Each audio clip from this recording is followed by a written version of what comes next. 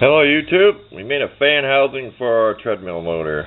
That green piece is a plastic lid off a big cup.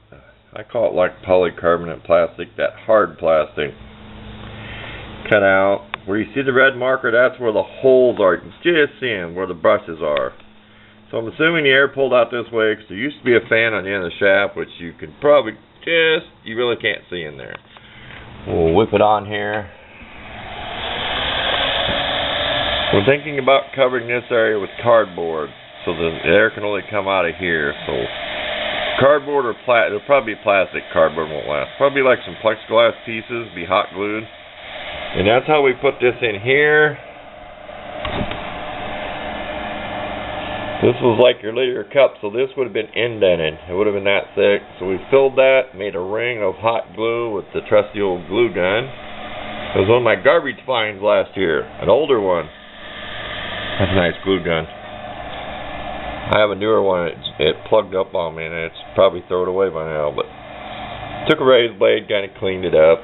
This was a big tin container I had. This is some foil tape. Just sprayed some primer on it. Also, this is magnetic, so we're going to make something on here. Uh, we used to stand a piece of cardboard up in here. We don't want metal shavings being attracted to the motor. This is magnetic, permanent magnet DC motor.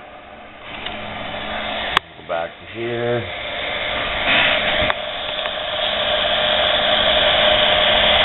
I don't know the CFM of this.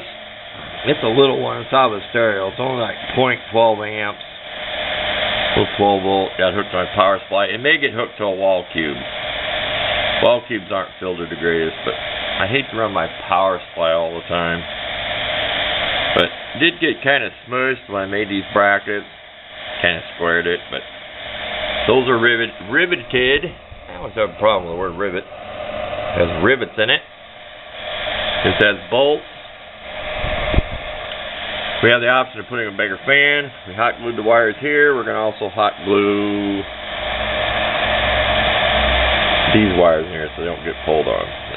I think it's going to be some plexiglass in here. We want the air to pull just here. We don't want the air to go through here and back out. We want it to suck through the motor. So, I've never really had it overheat. I haven't run this much this summer. I was running it in the winter cooler months. But there you go. I'll snap a couple pictures. Just just be a short video. Thanks for watching.